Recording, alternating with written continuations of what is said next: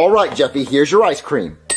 What do you want now? A new daddy? Why? Cause you're full of shit! Why would you say that, Jeffy? Mm.